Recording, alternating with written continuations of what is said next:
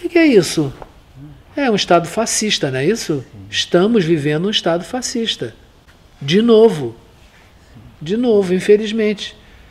Voltamos a ser um, um país conduzido por um pensamento fascista.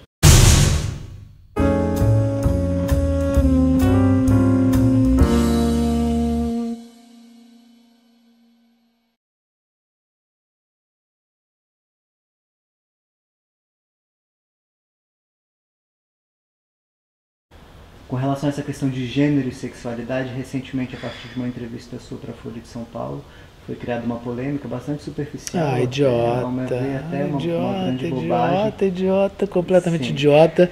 Tão idiota que eu não me dei o trabalho nem de responder. Eu pensei assim, porque quando chegou no ponto em que falava do meu apartamento, eu disse: o que, que tem a ver meu apartamento com a história? Isso está me parecendo inveja. Aí eu disse: ah, é, então encerrei o assunto aqui. Sabe? Então, tá, isso vai morrer. Vamos ver quantos dias durará. Durou três. É, essas polêmicas de redes sociais. Era tão que... imbecil, era tão imbecil que não dava.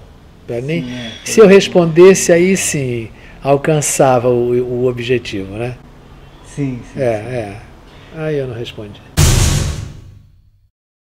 Você acha que a liberdade é mais importante que a igualdade? Ou efetivamente a busca por um equilíbrio entre esses dois valores deve ser buscada, mesmo que em um horizonte utópico? Eu acho que tem que ser buscada. Eu estou abismado com a quantidade de gente abandonada pelas ruas do nosso país. Isso me deixa envergonhado. É, o Rio de Janeiro, aqui, estamos falando de uma área nobre do Rio de Janeiro você não, não imagina a quantidade de gente dormindo pelas ruas. Eu, estou vindo de São Paulo, onde eu saí uma hora da manhã do teatro onde eu fui, onde eu fui me apresentar, e vi quantidade de gente andando pela rua, esfarrapadas naquele frio. Isso é uma, é uma vergonha, sabe? Isso é uma vergonha. Então eu acho que tem que ter liberdade, mas tem que ter igualdade, tem que ter respeito pelas pessoas, sabe? Tem que ter respeito pelas pessoas. Nesse sentido, ainda assim, não há, não, a gente não tem a menor dúvida que até historicamente comprovado, é historicamente comprovado que sua importância para a liberação comportamental foi incomensurável. E afora isso, você acha, na sua opinião, que esses movimentos LGBT, enfim, as siglas acabam sempre mudando, mas você acha que eles têm uma abordagem reducionista? Eu vou explicar melhor assim. Eu acho que sim. restringir a existência eu acho da humanidade. Que sim, a sua sexualidade. Quando eu disse isso, gay é o caralho, eu sou um ser humano, porque eu não quero restringir a minha existência ao que eu faço com o meu sexo.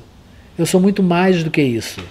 Então, isso, a, a minha sexualidade, eu coloco assim num segundo ou num terceiro lugar Sabe, antes disso eu sou um ser humano com todo que pretendo ser uma pessoa que pensa, que presta atenção, que raciocina. Então muitas coisas me incomodam, como isso que eu falei para vocês agora nesse momento, desse povo abandonado no meio da rua, isso é uma indecência. Isso é uma indecência. Então eu, eu acho que é redutor. Embora eu ache que tem que defender, que tem que se levantar em defesa das liberdades. Tá? Sempre defendi essas liberdades, mas nunca fiquei restrito a isso apenas. Eu sempre falei dos negros, eu sempre falei dos índios. São duas, duas coisas sérias no nosso país que ainda não foram resolvidas. Já deveriam estar resolvidas. Sim, e não estão fala sobre a repressão de povos indígenas no período da ditadura e que é uma informação brutal. São números assim. Assustadores, né? assustadores. né? Assustadores, mas continua. E continua. Continua. Sim. Porque estão assassinando índios ainda. E os negros, a gente sabe da situação deles. Ontem eu vi uma, uma, uma, no jornal de uma televisão uma situação assim: um policial invadindo uma, um barraco não sei aqui no Rio de Janeiro, não sei onde, e várias mulheres aqui do lado de fora, ele com um fuzil na mão, e várias mulheres reclamando daquilo. E aí, uma delas disse assim: é por causa disso que vocês estão sendo mortos. Vocês viram isso?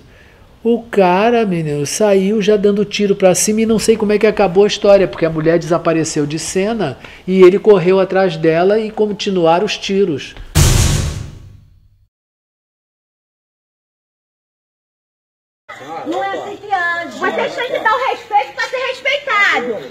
Então tá bom.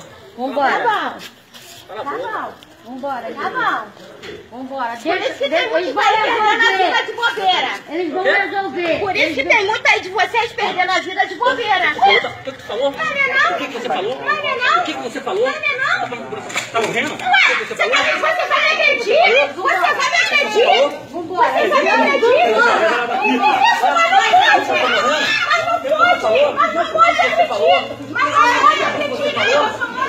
Ai, tá agredindo mulher o cara.